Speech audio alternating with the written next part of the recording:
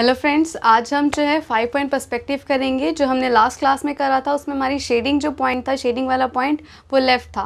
तो आज हम हम उसको कवर करेंगे। ठीक है, जितना भी हमने जो लास्ट क्लास में जो भी करा था, जिसने जो चीज़ नहीं देखी है, उसको पहले वो कवर करें दैन इसके बाद हम शेडिंग वाला स्टेप आज इसको कंप्लीट करेंगे। ठीक है, आइए अब हम शेडिंग स्टार्ट करते हैं।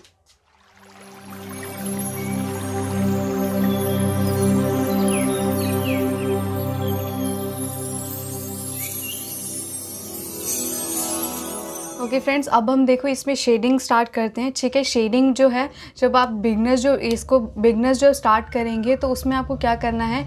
बिगनर्स के लिए ये है कि आप जब भी आप शेडिंग करो तो आप कोई भी अपना जो लाइट का सोर्स आपका कहीं से भी पड़ रहा तो आप उसी को ही फॉलो करो। जिससे कि आप फॉलो करोगे तो आपको आइडिया भी होगा कि जिस साइड लाइट पड़ रही है और आपका वहाँ पे शेडिंग कौन सा शेड पड़ रहा है? लाइट पड़ रहा है डार्क पड़ रहा है, या फिर आपकी शेडो आ रही है वहाँ पे तो आप इन सब चीज़ों का ध्यान रखें ठीक है? तो हम स्टार्ट करते हैं, यहाँ पर शेडिंग स्टार्ट करते हैं, ठीक है? तो हम यहाँ पर जो स्टार्ट करते हैं शेडिंग लाइट का सोर्स मेरा जो है यहाँ से आ रहा है मीन्स राइट साइड से आ रहा है।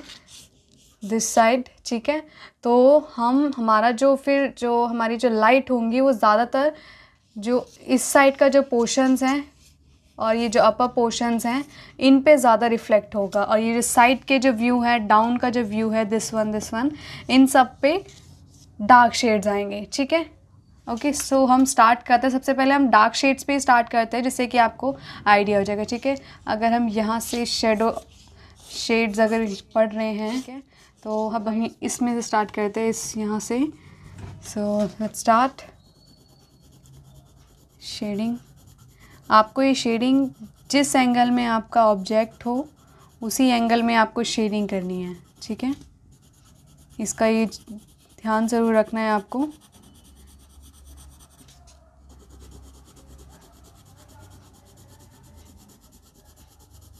और शेडिंग हमेशा स्टार्ट करनी है आपको लाइट शेड से ही। देन डार्क शेड पे जाइए।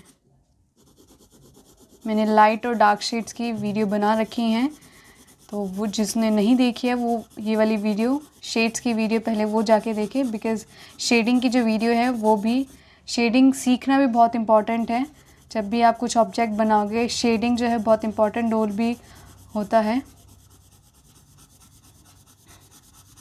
अब इसमें हम थोड़ा और डार्क शेड्स देंगे।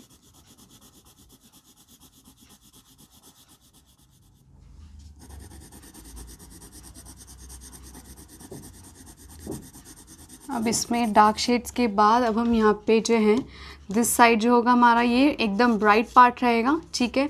और इस साइड हमारा मीडियम टोन रहेगी, ठीक है? सो मीडियम टोन के लिए हम पेंसिल को हम थोड़ा दूर से होल्ड करते हैं, जिससे कि इजीली हमारा मीडियम टोन और लाइट टोन शेड आ जाए, ठीक है? This is a medium tone ये आपकी मीडियम टोन है ठीक है अब ऐसे ही इसी साइड ही यहाँ पे आपका डार्क शेड रहेगा डार्क होगा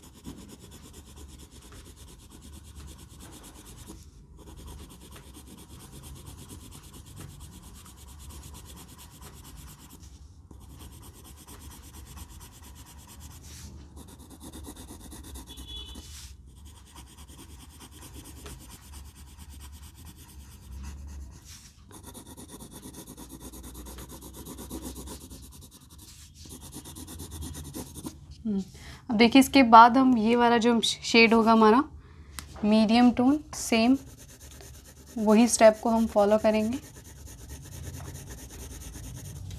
इसको थोड़ा सा हम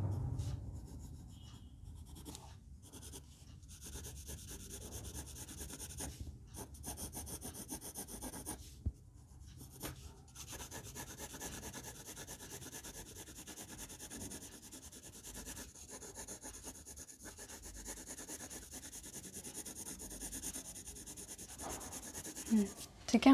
नेक्स्ट स्टेप अब हम नेक्स्ट स्टेप हमारा ये वाला स्टेप ये हमारी मीडियम टोन्स में जाएगा। ये देखो, इसमें जो शेडिंग जाएगी हम, कुछ ऐसे करेंगे। इससे कि थोड़ा कर्व भी लगे ये।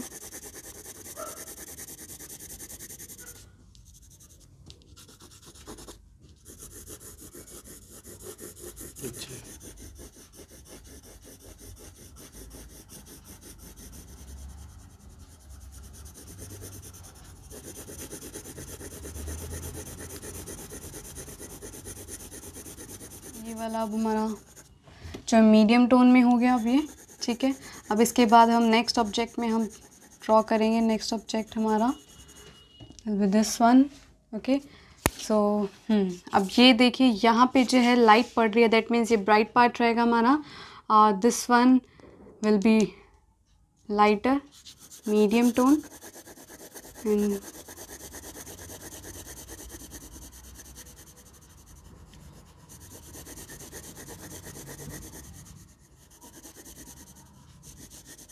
and this one will be dark. ये टोन हमारे डार्क टोन है अब ये ठीक है, अब ये पार्ट हमने ब्राइट पार्ट है तो इसलिए हमने इसको ब्लैंक छोड़ेंगे, ठीक है? क्योंकि हमारी ऑलरेडी वाइट शीट है तो इसलिए मैं यहाँ पे कोई वाइट शेड नहीं अप्लाई कर रही हूँ। ठीक है, जो मैंने ब्लैंक स्पेस हमने जो ये ब्लैंक स्पेस छोड़े हैं तो ये वाला पार्ट जो हमारा ब्राइट पार्ट है, ठीक है? अब इसके बाद जो ये वाली टोन होगी again this this one will be lighter okay? And this one will be dark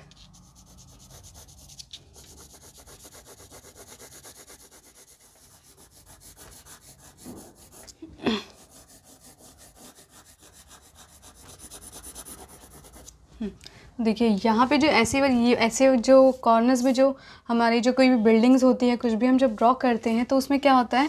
हम जब भी शेडिंग करते हैं ना तो हमें शेडिंग का हमें ये ध्यान देना होता है। जैसे हमने ये जो डाउन में जब शेडिंग करी है, हम, हमारा जो पहले जो स्टार्टिंग का जो एंगल था, वो हमारा इस डायरेक्शन में था, ठीक है? लेकिन जब हम नीचे जाएँगे, जब हमारी नीचे ड्राइंग होगी तो हमारी कुछ इस एंगल में जाएगी। एंड देन सेंटर में स्ट्रेट ठीक है? एंड देन इस फिर हम ऐसे लाइंस को फॉलो करेंगे, ठीक है? इस तरीके से। और डाउन में हम शेडिंग में, ये वेनिशिंग पॉइंट जब डाउन में जाएगा तो ये इस लाइंस को फॉलो करेंगे, ठीक है? तो शेडिंग का भी इसे ज़रूर आपको ध्यान देना है। अब इसके बाद अगर हम यहाँ पे शेडिंग आएगी, ये वाला ब्राइट पार्ट होगा that means this one will be dark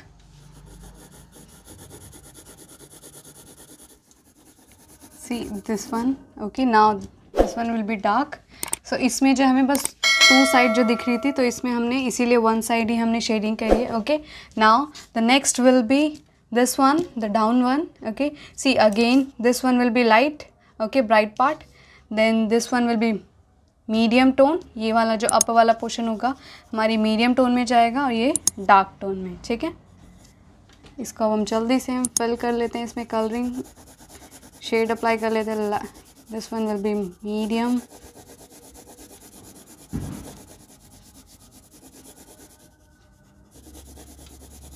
and then this one will be dark.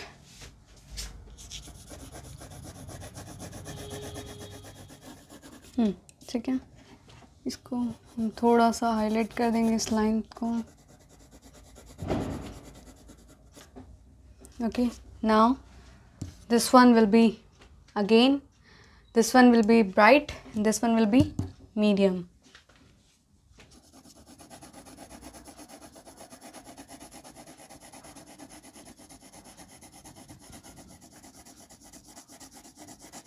see मेरी पेंसिल का जो डायरेक्शन है ये भी चेंज हो रहा है।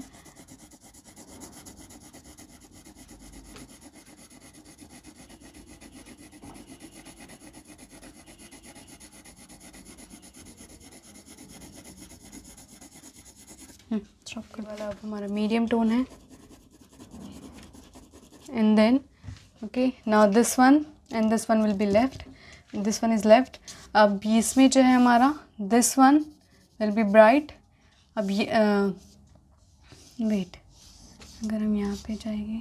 हाँ ये हमारी मीडियम टोन में जाएगी अब ये, और ये ब्राइट पार्ट जाएगा, और ये हमारा डार्क टोन जाएगा। ठीक है, ये मीडियम टोन है हमारा ये। यहाँ पे, ये देखो, एक चीज़ मैं बता रही हूँ। यहाँ पे क्या हुआ था? ये वाला पोर्शन इसमें ये वाला पोर्शन विजिबल हो रहा है, और लाइट यहाँ से पड़ रही है। तो ये आपका जो लाइट है, इसके ऊपर पड़ेगा। ठीक है? लेकिन यहाँ पे ऊपर पड़ रहा है तो सेम ये जो ऑब्जेक्ट है, इसका हमें अपर वाला पार्ट नहीं विजिबल हो रहा है। इसका हमें साइड वाला पार्ट विजिबल हो रहा है, ये एकदम एज पे है लाइट के एकदम एज पे है। सो यहाँ पे ये वाला पार्ट जो है, हमारा ब्राइट पार्ट है, ठीक है? और ये थोड़ा सा डाउन में आ गया तो इसलिए ये वाली, ये वाला जो हमारा जो साइड है, ये मीडियम टोन में जाएगा, ठीक है?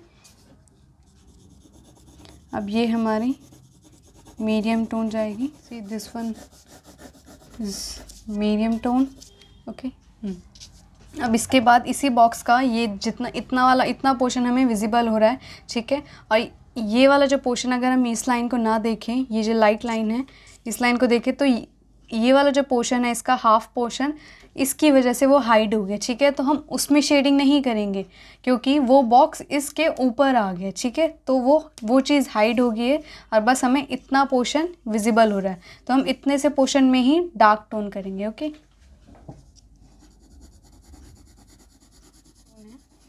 ये टोन हमारी डार्क टोन में आई है ओके अब सेम ये वाला जो ऑब्जेक्ट हमारा, ये जो बचा है, इसमें भी हमारी सेम ही टोन अप्लाई होगी। जो हमने इसमें अप्लाई करी, ठीक है? This one will be medium tone and this one will be darkest darkest okay now apply first medium tone ये भी हमारी, देखिए मीडियम टोन है। इस टोन को मैंने थोड़ा सा, इसके अकॉर्डिंग थोड़ा सा मैंने हल्का सा डार्क करा है, क्योंकि दोनों की टोन अगर सेम हो जाती तो वो विजिबल नहीं हो पाता, ठीक है? सो अब यहाँ पे भी हम डार्क टोन ही अप्लाई करेंगे सेम जो हमने यहाँ पे अप्लाई करा था। यहाँ पे भी हम इसी टेक्निक को फॉलो करेंगे। एजिस को पहले से थोड़ा सा शार्प करो।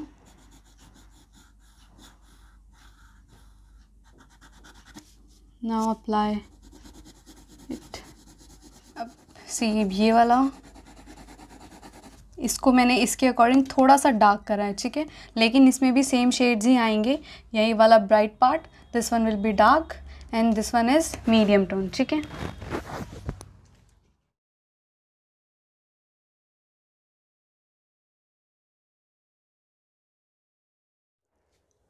फाइनली गाइस आज हमने जो है फाइव पॉइंट पर्सपेक्टिव जो है हमने कंप्लीट कर लिया है। इसमें जो भी आपको जो नहीं समझ आया शेडिंग वाला पार्ट या फिर कुछ भी अगर आपको पर्सपेक्टिव में प्रॉब्लम हो रही हो सर्कल बनाने में प्रॉब्लम हो रही हो तो आप मुझे वो कमेंट बॉक्स में बता सकते हैं तो उसकी जो भी क्वेरी होगी हम उसको नेक्स्ट क्लास में कवर कर सकते हैं, ठीक है? सो आई होप गाइज़ आप इसकी प्रैक्टिस ज़्यादा से ज़्यादा कर रहे हैं, जिससे कि आप इसमें कुछ भी अगर आप पर्सपेक्टिव में बनाएँगे तो आप ईजिली बना पाएँगे, ठीक है? तो आपको इसमें लाइन्स की कोई भी नीड नहीं होगी, आप डायरेक्ट ही आप इसको बना पाएँगे ठीक है? सो अब हम नेक्स्ट क्लास में मिलते हैं। Take care bye bye have a good day